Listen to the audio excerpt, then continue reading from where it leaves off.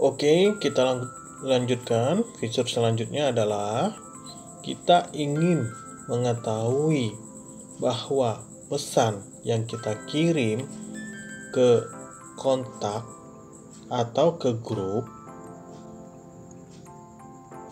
berapa lama sudah dibaca. Oke, langsung aja kita klik. Di sini kita contohkan adalah di kontak. Jadi langsung kita lihat channel YouTube siaran bermanfaat.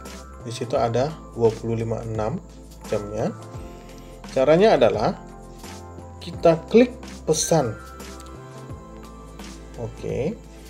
Lalu kita klik titik tiga sudut kanan.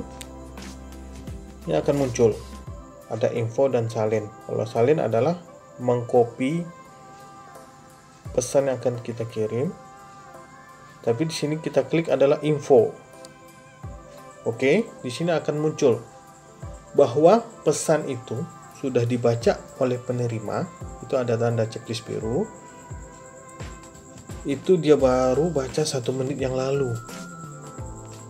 Tetapi dia sudah terima 40 menit yang lalu. Jadi teman-teman ini sangat bermanfaat sekali ya. Jadi kita tahu riwayat pesan yang kita kirim. Jam berapa diterima oleh